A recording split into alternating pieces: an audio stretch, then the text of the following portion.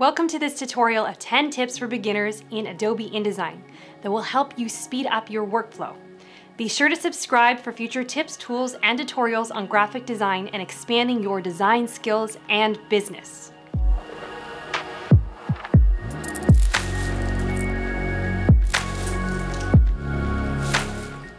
In order to scroll through a bunch of fonts quickly to see which one you want to use for your design, first using the Type tool, you go and select the type you would like to change the font of.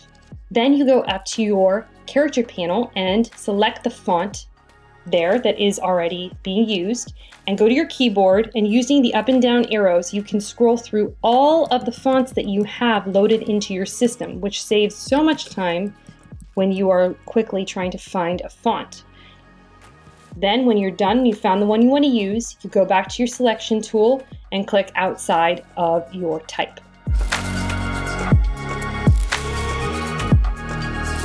In order to keep consistent fonts, leading, tracking, colors, etc. throughout a design where there will be a lot of copy, it's very important to have paragraph styles and character styles. This is done by first choosing the fonts, colors, etc. of your paragraph and then opening the paragraph styles panel. So what you're going to do is go up to Window, Styles, Paragraph Styles, and this will bring up this panel called Paragraph Styles. Then you will, while having the text selected that you're going to be applying the paragraph style to, hit Create New Style. You double click that one, can name it Headline for this case. And you can see here you can go and change when you're actually in the panel itself, the options, you can change the size, you can change the indents and spacing, if it's centered, if it's right aligned. You can change the different, adding a border, you can make the character color a different color. And if you have the preview on is when you can see those changes made live. So I'm going to keep the changes I made in the options and hit OK. So now you can see I have here a paragraph style called headline. Now let's say you want to make a new headline and it's going to be called real design and you want to apply this same paragraph style. All you do is go over to your paragraph styles while selecting that type and hit headline and it will have the same exact style as the earlier one. Now let's say you want to change one word in this headline to being pink. So you're going to go over, make it pink, and then go over to your character styles, which if you don't have that open is under Window, Styles, Character Styles. Now you're going to do the same thing, go and make a new style, open it up, call it pink type. And again, you can change the size, the color, if you want it underlined, and you can see it live there. We're not going to change anything, so we're just going to hit OK. And now, let's say you want to have another word in a different paragraph with that same character style. So now all you have to do is highlight that other word and go over and hit pink type and it'll apply it. A great thing about using paragraph styles, if you want to change something in the future on your document, all you have to do is go into the paragraph style options. Let's say we want to change the overall font to be Garamond or Futura. So now all we had to do is select it in the style options and it will change it universally throughout the whole document. It's going to save you so much time. The same thing applies to character styles. You can just select, double click it, and you want to change, let's say, the color. Instead of pink, you want to have it blue. So there it will change it universally to blue. Then you can call it blue type. These work similarly to paragraph and character styles. First, what we're going to do is go to Window, Styles, Object Styles. So we pull up that panel. We'll put it over here. Now let's create an object. So for this, I'm just going to create a rectangle. I am going to make it red. Going to make a drop shadow. this is not important. I'm just setting it up so you can see as an example, so you can see the different styles that are being applied. So what I'm going to do is now do create a new style in the object styles panel. I'm going to call it red box. And just like in the other style options, you can go in and manually change it here and see it live. But for this case, we're not going to do any changes. We're just going to hit OK. All right, now I am going to go and make another box.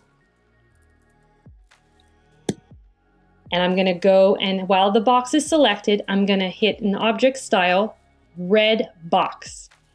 Now it applied the exact same style as the previous red box because they are both now in that object style.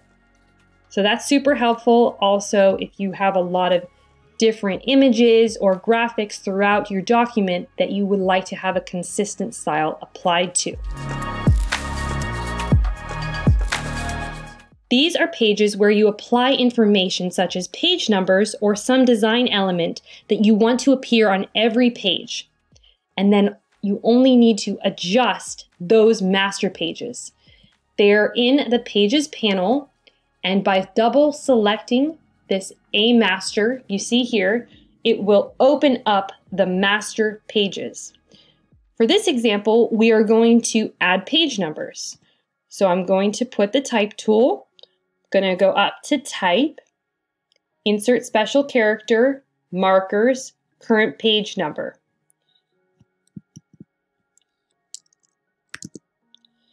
Now let's make this 11 point type. All right, so now I would like to also have that on the right side. We'll make it right aligned. So now let's look in our actual document. By going back to the Pages panel, you can see in this section here is where the actual document is. These are your actual pages. The master pages are above it. So to go back to your actual pages, you just double click there and you can see the page number is there and the page number is there. And it is locked. You can't actually access it unless you go back to your master pages. Now let's say we would like to have a style applied to certain pages, but not every page in the document. We can go back up to the master pages and go up to its little menu, select new master. Now this is going to prompt this window and if you want to keep the page numbers, it's advised that you base this master on a master, which has those numbers applied. So you're going to hit OK. And now, for the sake of this new master page, we're going to draw a line across it, just so you can see it. And now, we're going to go down into our actual pages and select the pages we would like to have this line applied to.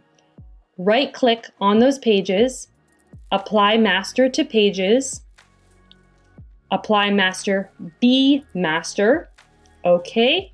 So now if we go back, we can see in our actual document that those two pages are with a master applied, so you only see the page numbers.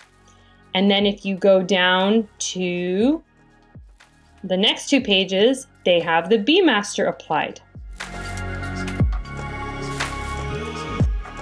Sometimes when you're working on a document, you will want to have it divided into columns or rows to ensure proper alignment. So you go up to Layout, Create Guides. This will allow you to set up the amount of rows or columns you would like to have in your document. And this is the gutter, which is the space between these rows and columns. This helps to keep spacing consistent. And you can have the guides go just to the margins, which are these purple lines, or you can fit it all the way to the edge of the page. It's up to you.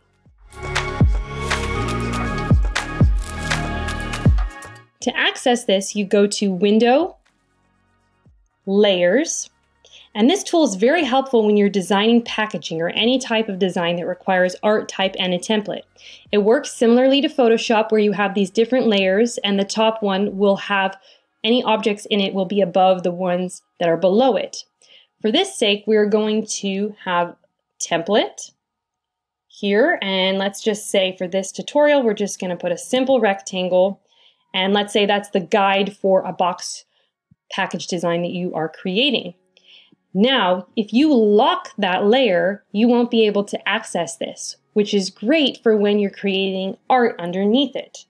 So let's just, for this sake, create a box that is blue. So you can see the template layer is showing above the blue layer. Now you can go in and put type on the type layer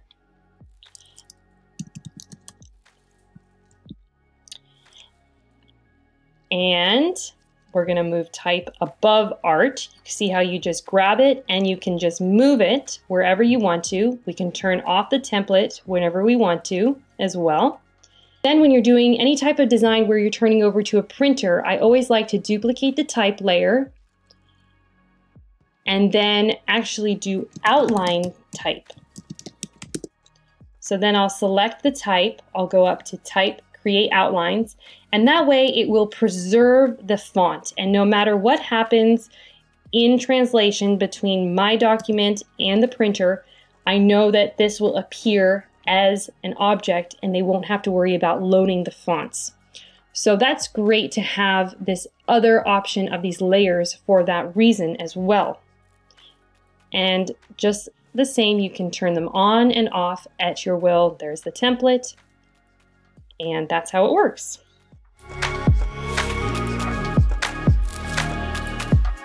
If you do need to outline your type but have bullet points, they will disappear unless you convert them to type. You can see here, oh, they're gone.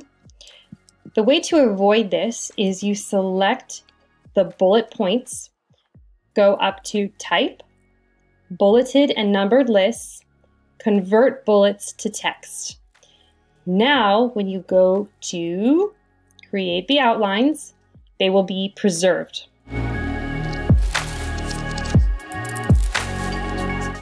If you want to get rid of a specific color and replace it with another, open your window, color, swatches, go over to your swatches panel, and let's say we want to get rid of this blue color universally and replace it with this dark blue.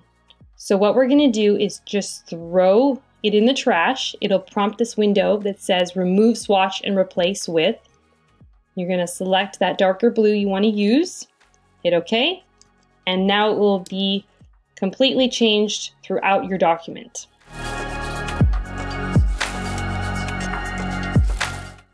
After you complete a project, it's a great idea to package this up to collect all the links, fonts, and files into one location.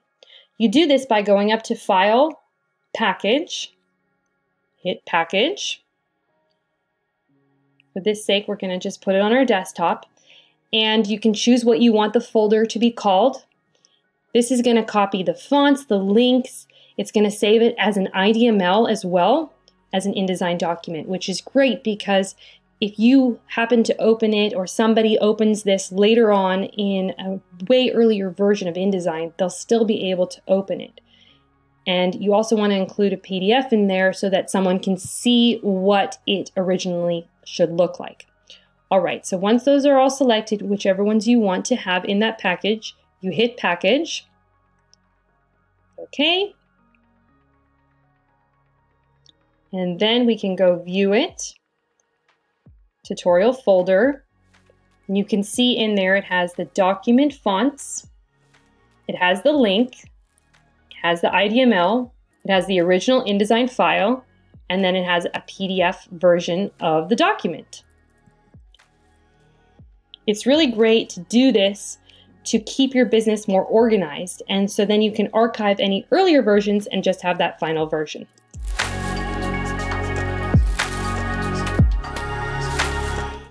The way to do this is to put all the panels in the positions you want them to be in. Let's say we're just going to throw all these here for the sake of this tutorial. You then go up to Window, Workspace, New Workspace. I'm going to put Tutorial Workspace, hit OK. So that, let's say you move some things around while you're working, but you want to go back to the way you really liked your workspace set up, you go to Workspace, reset tutorial workspace, and it'll put them all back to the way they were. I have a few different workspaces saved. This is Lauren's favorite. We go to reset Lauren's favorite, and it'll go back to the way I usually have it. Another great thing is that there are different preset workspaces that InDesign provides with the best panels for whatever you are working on in these different categories. So let's say you're working on typography and you hit that workspace. So it's going to set it up so that it has the elements it thinks you need in order to do the typography.